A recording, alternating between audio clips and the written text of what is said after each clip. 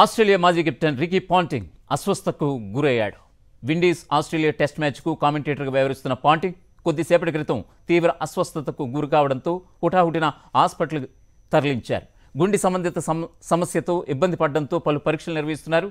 నలభై ఏడేళ్ళ పాంటింగ్ ప్రస్తుతం ఛానల్ సెవెన్కు కామెంటేటర్గా బాధ్యతలు నిర్వహిస్తున్నాడు.